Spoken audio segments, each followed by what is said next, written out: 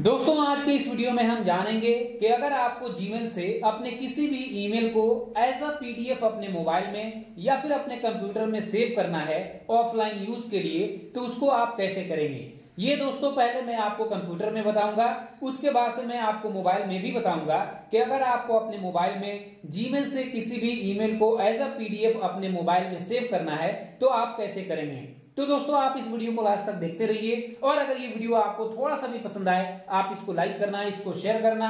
अगर दोस्तों, ये वीडियो आप फेसबुक पे देख रहे हैं, आप मेरे फेसबुक पेज को लाइक और फॉलो करना। अगर यूट्यूब पे देख रहे हैं तो दोस्तों चैनल को ज़रूर सब्सक्राइब कर देना, क्योंकि मैं हमेशा आपके लिए ऐसे ही नए नए टॉपिक्स पे नए नए वीडियो लेकर आता रहता हूँ। तो आइए दोस्तों, आज कुछ नया सीखते हैं।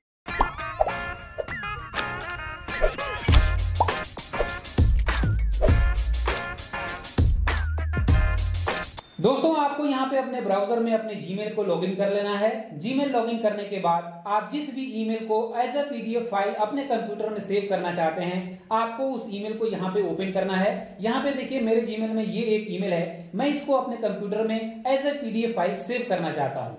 तो उसके लिए दोस्तों ईमेल के टॉप में राइट साइड में देखिए, यहाँ पे आपको तीन डॉट का निशान मिलेगा। इस पे क्लिक करना है और यहाँ पे आपको प्रिंट का ऑप्शन मिल जाएगा। यहाँ पे ऊपर में भी आपको प्रिंट का लोगो दिखेगा, इस पे भी आप क्लिक कर सकते हैं। यहाँ आपको प्रिंट पे क्लिक करना है और अब दोस्तों यहाँ पे आप देखिए, प्रिंट सेटअप का ये पेज ओपन हो जाएगा। प्रिंट सेटअप का ये पेज ओपन होने के बाद यहाँ पे आपको थोड़ा सेटिंग कर लेना है। उसके लिए यहाँ राइट साइड में दोस्तों देखिए, प्रिंट के नीचे पहला ऑप्शन दिया है, डेस्टिनेशन। आपको यहाँ इसके आगे रेडियो बटन पे क्लिक करना है और इसमें तीन चार ऑप्शन मिलेगा। इसी में से एक मिलेगा आपको सेव एज पीडीएफ, आपको उसे सिलेक्ट कर लेना है। यहाँ से दोस्तों आप इस ईमेल को प्रिंट भी कर सकते हैं। अगर आपके कंप्यूटर में प्रिंटर ऐड है तो यहाँ पे आपको आपका प्रिंटर भी दिख जाएगा। यहाँ पे दूसरा दिया है पेजेस अगर आपके ईमेल में एक से ज़्यादा पेज है, आप सभी पेज को as a PDF file save करना चाहते हैं या फिर प्रिंट लेना चाहते हैं तो आप यहाँ पे ऑल रहना देंगे। लेकिन अगर आप उनमें से कोई एक दो पेज ही सेव करना चाहते हैं या प्रिंट लेना चाहते हैं तो आप यहाँ पे कस्टम को सिलेक्ट करेंगे और यहाँ पे आप पेज के रेंज को दे देंगे। मान लीजिए अगर आप एक से लेकर तीन पेज को ही प्रिंट लेना चाहते हैं या फिर सेव करना चाहते हैं तो आप यहाँ पे वन माइनस थ्री दे देंगे। इस ईमेल में सिर्फ़ दो पेज है इसीलिए मैंने यहाँ पे सिर्फ़ लिख दिया एक। उसके बाद ये लेआउट है आप यहाँ पे इसका ओरिएंटेशन देख, सकते हैं पोर्ट्रेट या फिर लैंडस्केप ये यहाँ पे करने के बाद सिंपल आपको यहाँ नीचे सेव पे क्लिक करना है। उसके बाद से यहाँ पे आपको अपने कंप्यूटर में लोकेशन सेलेक्ट करना है, जहाँ पे आप इस पीडीएफ फ़ाइल को सेव करना चाहते हैं। मैंने दोस्तों इस पीडीएफ फ़ाइल को अपने डेस्कटॉप पे सेव किया था। यहाँ पे देखिए ये आ गया। ये मेरा ईमेल है। मैं आपको यहाँ पे इसको ओपन करके भी दिखा देता हूँ कि वो ईमेल पीडीएफ में सेव करने के बाद कैसा यहाँ पे दिखता है। तो देखिए ये वो ईमेल है जिसको मैंने एज पीडीएफ फ़ाइल अपने कंप्यूटर में सेव किया। ये हो गया दोस्तों कंप्यूटर में। अब चलिए जानते हैं कि अगर आपको अपने मोबाइल में जीमेल से किसी भी ईमेल को as a PDF file save करना है तो आप कैसे करेंगे?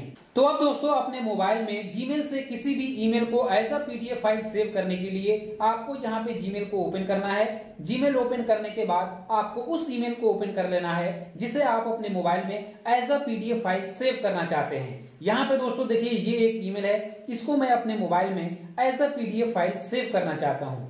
तो उसके लिए दोस्तों यहाँ पे देखिए राइट टॉप में सबसे ऊपर आपको तीन डॉट का निशान मिलेगा। इस पे आपको क्लिक करना है और यहाँ पे म्यूट के नीचे देखिए आपको प्रिंट का ऑप्शन दिखेगा। आपको यहाँ प्रिंट पे क्लिक करना है और आपका ईमेल एज अ पीडीएफ यहाँ पे ओपन हो जाएगा। लेकिन दोस्तों, अब ये पीडीएफ फ़ाइल मोबाइल में सेव नहीं हुआ है डाउनलोड नहीं हुआ है तो पहले आपको इस पीडीएफ फ़ाइल को अपने मोबाइल में सेव करना होगा, उसे डाउनलोड करना होगा। तो उसके लिए यहाँ पे देखिए राइट टॉप में एक गोल यहाँ पे सर्कल दिखेगा डाउनलोड का लोगो है ये, आपको इस पे क्लिक करना है। फिर आपको यहाँ पे कोई नाम दे देना है, अगर आप इसको एडिट करना चाहते हैं तो कर सकते हैं। फिर उसके बाद से आपको यहाँ पे सेव पे क्लिक करना है और वो पीडीएफ फ़ाइल आपके मोबाइल के फ़ाइल मैनेजर के अंदर जाकर सेव हो जाएगा। तो यहाँ पे देखिए मैं फ़ाइल मैनेजर को ओपन करता हूँ। उसके बाद यहाँ पे मैंने डाउनलोड को ओपन कर लिया। अभी यहाँ पे आप देखेंगे वो पीडीएफ फ़ाइल आपको यहाँ पे दिख जाएगा। देखिए आ गया जीमेल एक्सेल न्यूज़ लेटर इस पर मैंने क्लिक किया। और यहाँ पे दोस्तों देखिए वो ईमेल एज अ पीडीएफ मेरे मोबाइल में यहाँ पे सेव हो गया है। तो दोस्तों, उम्मीद है आपको ये वीडियो ज़रूर पसंद आया होगा। अगर ये वीडियो आपको थोड़ा सा भी पसंद आया हो, आप इसको लाइक करिए, इसको ज़्यादा से ज़्यादा शेयर करिए। अगर ये वीडियो आप फेसबुक पे देख रहे हैं, आप मेरे फेसबुक पेज को लाइक और फॉलो करिए। अगर यूट्यूब पे देख रहे हैं और अभी तक आपने मेरे चैनल को सब्सक्राइब नहीं किया है तो प्लीज़ इसको सब्सक्राइब करिए और साथ में बेल आइकन को ज़रूर दबाइए, ताकि मेरे हर नए आने वाले वीडियो का नोटिफिकेशन आपको आसानी से मिलता रहे।